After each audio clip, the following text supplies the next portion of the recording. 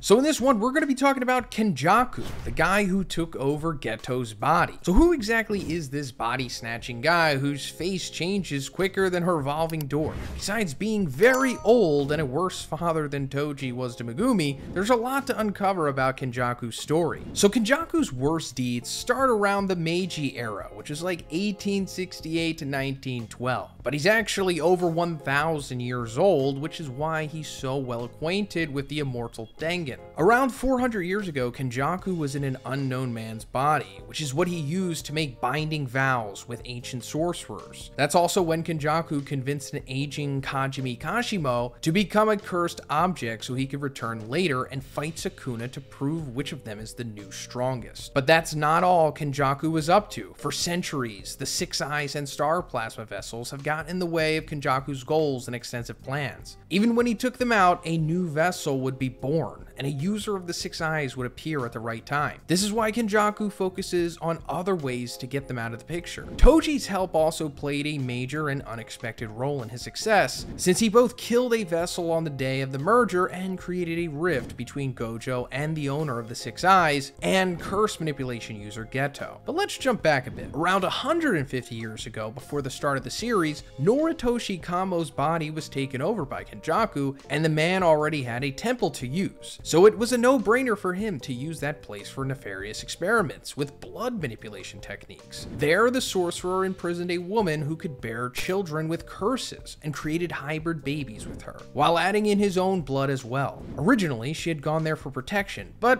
eh, that didn't turn out so great. Kenjaku made her have nine abortions, creating the death painting wombs. The two brothers we saw confront Yuji and Nobara, Eso and Kechizu, are technically related to him him, and we'll get to how later. But the other seven children were named Naranzo, Shooso, Tanzo, Sanso, Kotsuso, Shoso, and Choso, who plays an important role down the line. This not only made Kamo's namesake gain the title of the most evil sorcerer in history because of that, but likely tarnished the clan's reputation. After all, that Kenjaku only really wanted to find out what would be created and how interesting and strong the entities would become. Not to mention there must be a lot of ego involved, since he made himself the third parent to these children. But how does Kenjaku keep jumping around these bodies like this? Well, the hint is in the stitches. He basically performs brain surgery, taking over bodies to use as his new form, and using his brain as the control center. Kenjaku also gains their curse technique, or whatever the previous body had available. And the transition is seamless. Even Gojo's highly coveted Six Eyes couldn't see through this nasty technique. But anyway, after disappearing for a while, Kenjaku finds more subjects to experiment on. This time it involves Yuji's mother, Kaori, whose body he takes over despite Yuji's grandfather Wasuke, warning Yuji's father Jin of the danger of that woman. Yuji's eventually left alone. It's not clear what Kenjaku did with their bodies, but we can assume they both died. Kenjaku's involvement in Yuji's creation also explains why he, even prior to learning about cursed energy, was so physically gifted and athletic. And because he helped birth Yuji, whether literally or just with his blood, this makes Yuji a sibling to the cursed wombs he unknowingly fought and killed. Perhaps that explains why Yuji felt bad when he saw them crying. As if that wasn't enough already, Kenjaku had the finger planted in Junpei's home in order to trigger his curse technique through negative emotions. He might not have meant for the young man to be killed by Mahito, but he didn't care either. Anything to further his plans and to test things out. Around this time is likely when Kenjaku also laid the foundations for spreading cursed energy to non-jujitsu users in hopes of creating more of them. A lot of them weren't compatible with this process though, like Megumi's sister Tsumiki, who fell into a coma. Of course, there was a solution to that which requires some time to be resolved. And Kenjaku is nothing if not patient. But was Megumi's sister chosen simply because of bad luck? Or because of the importance Megumi would play in Sukuna's return due to his Ten Shadows technique? It's hard to say, but Kenjaku probably thought he might need Megumi Shadows against Gojo to take down the Limitless and Six Eyes combination. But going further, in 2018, Suguru Geto returns from the dead? Not really. With a useful technique like cursed spirit manipulation, there was no way Kenjaku could pass up on the chance to acquire this corpse, since Gojo was too attached to his deceased best friend to destroy his body completely. With his body, Kenjaku made temporary allies of the special grade curses, Mahito, Jogo, Hanami, and Dagon. But they're all just a means to a bigger research project he's been working on. And seeing as they had Gojo as a common threat, they agreed to work with Kenjaku to get the Six Eyes user out of the way. Before they could proceed, they needed to acquire the prison realm and see just how powerful Sukuna was now. Kenjaku suggested sealing Gojo as the only way to defeat him, while carefully keeping himself out of sight from any Jujutsu sorcerer who could recognize his body. He also didn't fight anyone to avoid leaving residuals behind, which Gojo would have immediately picked up on. With the finger planted at Junpei's house returned to Jujutsu High, Kenjaku now knows where to find the ones they have stored there. Yes, he put a tracker on it, but he can't go himself. Again, because, you know, people would see him. At the same time, three of the wombs he created are stolen by Mahito. Days later, the curse hybrids are given bodies and sent on an errand to get more Sukuna fingers and keep him on Kenjaku's side. Choso is left behind, but surprisingly doesn't even sense his creator's presence in Geto's body. Then comes October 31st. For the prison realm to work, it takes 20 minutes of preparation and a full minute to seal the victim. So after everything was set up in Shibuya thanks to those working with him, Kenjaku used the body he was in to more or less neutralize Gojo, but not before making sure to drain Gojo's mind thoroughly, similarly to the way Toji did in the past. As we've seen, Gojo was extremely attached to Geto, so seeing his friend back from the dead ensured Gojo would be too stunned to escape, and got locked inside the prison realm. Despite being an evil mastermind, not everything Kenjaku wanted during this battle came to pass. He missed out on absorbing Jogo because Sukuna killed him, but he did get his hands on Mahito, so he can now activate his trap card. I mean, the cursed energy that he had spread out years ago, and allowing those incompatible bodies to be transfigured and capable of wielding cursed techniques, or be turned into proper vessels like Yuji. Even a combination of jujitsu students and Todo's teacher Yuki aren't enough to take Kenjaku down before he unleashes transfiguration on the marked people. Luckily for us, using idle transfiguration was a one-time deal, since Kenjaku absorbed Mahito and expended him with an Uzumaki attack. But to be fair, Mahito was planning to attack Kenjaku anyway. Afterwards, Kenjaku left with another ancient sorcerer named Uraume, preparing his next big moves. And that brings us to the culling game. The culling game is one of the final steps towards Kenjaku's ultimate goal of making the entire population of Japan merge with Tengen. He started the game, but he's not the game master, meaning he can't change how it's played. Well, at least for the most part. But the technique he used not only brought back old threats, but created new curse technique users from regular people to join the game. Non-combatants were allowed to leave the colonies because their lives wouldn't be spared in the end regardless. Keep in mind, all these normal people would be fodder for the massive curse spirit Kenjaku wants to create. But anyway, remember that guy Kashimo? Well, he's brought back as promised. There's also Angel, who is inside of Hanakurusu, much like Sukuna and Yuji. And there's also Yorozu, who reincarnates inside of Tsumiki's body. And then there's those who are unfortunate enough to face off with Yuta Okkotsu and a few others. Kenjaku takes over the Kamo clan, forcing our young Noritoshi out. Considering the blood manipulation technique he has, the curse wombs are like ancestors to him, and vastly more potent since they don't have to worry about bleeding to death like a human would. So with Gojo sealed, and the Zenin clan destroyed by Maki, there aren't many people who can oppose Kenjaku and his role in the Jujutsu world. But Kenjaku inadvertently created a potentially more powerful version of Toji Zenin with his culling game colonies. After all the panic and death from Shibuya, Kenjaku goes to the USA and lets them know of an untapped power source in Japan, cursed energy, but not warning them of the dangers of curses. Evidently, it's to try to create more means of cursed energy, aka negative energy, and death through having them join in the games and being killed or taking down sorcerers. The country agrees and sends 800 militants over to kidnap as many jujitsu users as possible, since Gojo is already sealed and not a threat. But Kenjaku doesn't create chaos just for the sake of it. He wants to know what will happen if Tengen and all of Japan create a massive cursed spirit and what it would look like. Likewise, Tengen knows the ancient sorcerer and the way he thinks as well, and even prepares a means to free Gojo before they're confronted by Kenjaku. Another slight wrench in Kenjaku's big lifetime goal And because Tengen didn't merge with Riko Amane 12 years ago and evolved, they became closer to a curse. This makes Kenjaku's curse manipulation perfect to control the Ancient Immortal. There's a small issue to deal with first though. Yuki and Choso are there to protect anything from happening to Tengen. They do their best to stop Kenjaku, but are no match for his experience and the amount of curse techniques he's acquired over time. He devastates Yuki with a tiny Uzumaki attack, aimed at a lethal area, and she resorts to using a black hole against him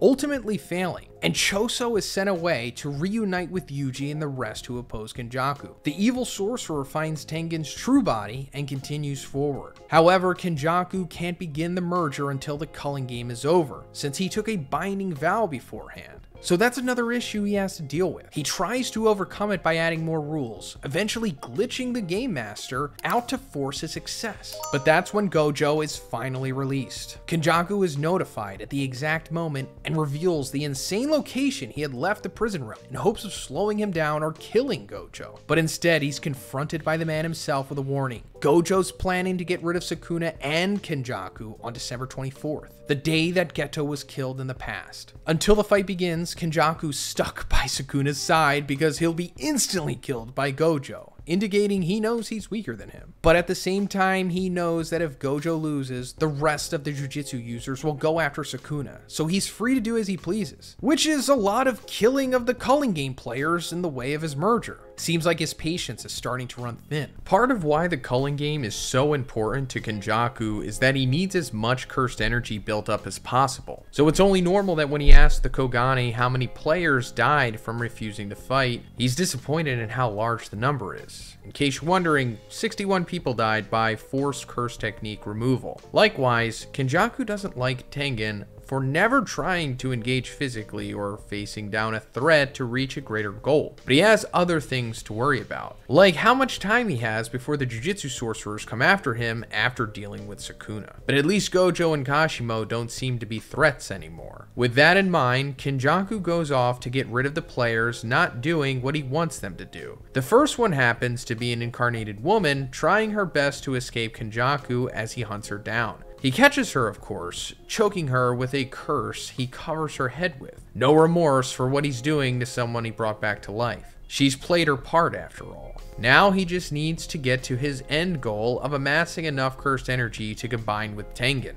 and all of Japan. Another player, Hazenoki, shows up wondering how Kenjaku finds them so easily. As it turns out, the incarnated sorcerers are tagged with the cursed objects he used to bring them back while awakened sorcerers have a seal on them that he can track. Either way, Kenjaku can find them anytime he wants to, but before that, he checks in on Mei Mei's live stream, glad to see that Gojo has lost. And even if someone other than Hazenoki wanted to come fight Kenjaku, he has arrangements in place already. For one, he's the second best barrier user besides Tengen, and he's hidden cursed spirits with barriers around him and Shinjuku. They're probably not very strong, but their job is to monitor any changes in cursed energy and their movements. So if someone such as Okkotsu Yuta would be headed towards Kenjaku, he would know immediately. He also made sure to see what the curses see. So he can't be taken by surprise by a player without cursed energy, like Maki. But Kenjaku isn't saying all of that to prove how prepared he is. Rather, it's a way to make Hazenoki feel even more alone than he did before. Seeing as he refused to be Kenjaku's friend earlier, the fight begins with no warning. Kenjaku having sent out curses against Hazenoki in a flash. If you recall, the incarnated sorcerer can remove parts of his body and use them as explosives and reverse curse technique is in his arsenal as well. But is that enough to escape this onslaught of attacks from Kenjaku? Sadly, no. He's already stabbed Hazenoki in the neck and head, making sure that he can't heal that part of his body. He's done with these sorcerers now, and wants to move on to the next step ending the culling game so the binding vow can be fulfilled. And to do that, all the players have to die as soon as possible. But there's one man, not an incarnated sorcerer, standing in Kenjaku's way next. Takaba the comedian. And considering all of his preparations, Kenjaku is visibly stunned by this man's appearance out of nowhere. There was no hint that he was nearby, and no notice from his curse is placed around. He's a mystery for Kenjaku, but because he's been given a curse technique and isn't an incarnated sorcerer, Kenjaku's not worried or even interested in Takaba. There is one exception to this, and that's Higuruma and his Judgeman Shikigami. Regardless, because Kenjaku has no expectations for Takaba, he's entering this confrontation with a different mindset than usual. If it were Okkotsu or Gojo coming his way, he'd be geared up to fight with everything he's got. What am I trying to say? Well, he's letting his guard down a bit. Maybe the way that Takaba confidently said that he arrived in the wrong place doesn't help. That aside, Kenjaku attacks the comedian anyway, expecting the large curse to end the fight with one attack. Instead, this just makes Takaba annoyed at Kenjaku's behavior and throws the pseudo-immortal into utter confusion. How could someone he thought had no potential survive that easily? The problem is that Kenjaku knows his attack was effective, but for some reason it didn't work the way it was supposed to. And because Takaba has provided Kenjaku with one of the two things he always longs for, entertainment, he actually smiles. A genuine smile, not the creepy one he had when Gojo figured out that he wasn't actually Geto. Although Kenjaku gets more serious, sending more curses after Takaba, his next attack has no effect either. All Takaba needs to do is make it funny for himself, and the damage is nullified. Not to mention that when Kenjaku goes for Takaba again, he ends up conjuring items from thin air. That includes a bandana for Kenny and cards for himself. This fact, more than anything else, has Kenjaku worried, because Takaba can control whatever items he summons from his imagination. Kenjaku knows that he wouldn't be able to stop the effect, even with the millennia of years he's been alive. But this is Kenjaku we're talking about. He's not going to give up so easily, especially since all curse techniques we've seen have some kind of weakness. It's just a matter of time until he finds a way to take Takaba down. Interestingly, while Kenjaku's conversing with Takaba and trying to get a read on him, the comedian brings up the possibility of giving up the whole merging idea if something more entertaining crossed his path, and Kenjaku isn't opposed to the thought. So while Kenjaku's planning to kill Takaba and move on, the comedian's trying to find a way to end this interaction more peacefully. But seeing as Takaba's goal is laughter, Kenjaku has already figured out his comedic style and the lack of humor it would bring to an audience. In a way, Kenjaku's thorough analysis and review of Takaba's joke makes the comedian start to doubt himself and think negatively. It allows Kenjaku to physically attack Takaba after having broken his confidence and he's pleased at the blow that he lands on the comedian. And sure, Takaba rejects Kenjaku's opinion since he's not a professional in his industry. But when Takaba suggests that they have a staring contest, the ancient sorcerer just goes along with it and even wins with surprisingly fun expression. It's another harsh blow to Takaba's ego, allowing Kenjaku to strike his body again. But when Kenjaku insists that Takaba should laugh while he sees Hazenoki's dead body lying on the ground, the situation shifts. For Kenjaku, this moment of weakness seems like his chance to finish off Takaba, but instead, the comedian startles him with an impressive bow as he apologizes. Of course, that's not his actual thoughts, but Takaba controlling the way that he thinks and the situation again. Another chance comes up for Kenjaku though.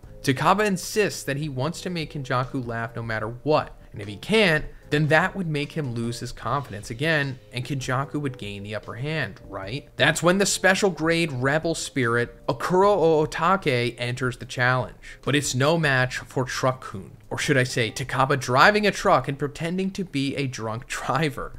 This leads into a number of ridiculous sketches, like Takaba trying to bring a giant goldfish back to life, and Kenjaku goofily shocking him with the defibrillators as well as the most musical game of rock, paper, scissors you'd expect to see in Jujutsu Kaisen.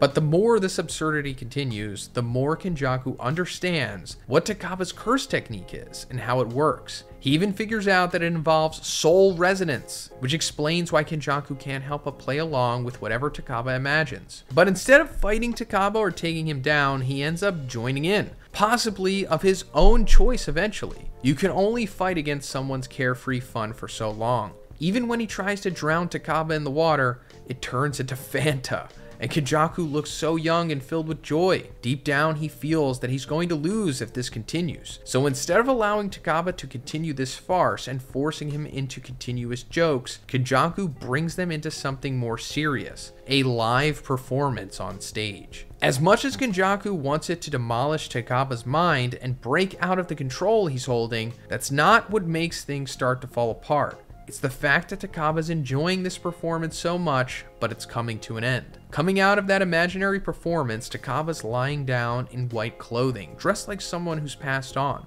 Kenjaku has to admit that he has laughed because of the comedian, and seconds later, Yuta's behind him. It's too late for Kenjaku to react the way that he had planned, with all his barriers and curses and failsafes. He tries to use anti-gravity against Yuta, but it's too late. Takaba's distraction has succeeded long enough to get the ancient sorcerer's head cut off with one clean slice. As much as it seems like this is the end of Kenjaku, him saying that his will shall be carried on kind of leaves us with a bad taste in our mouth. Will Kenjaku just switch bodies again? Is this not the real him? But just a part of his curse technique? There's so much that can happen since Kenjaku's got a collection of curse techniques. He probably has some we've never seen him use. But for now, well, it seems like the culling game is over, and if Kenjaku comes back, we might not recognize him right away. But that's pretty much it for this one, guys. Let me know what you think about this in the comments, and if you liked the video, please give it a like, and please subscribe if you haven't already. Have a great day, and I'll see you in the next one.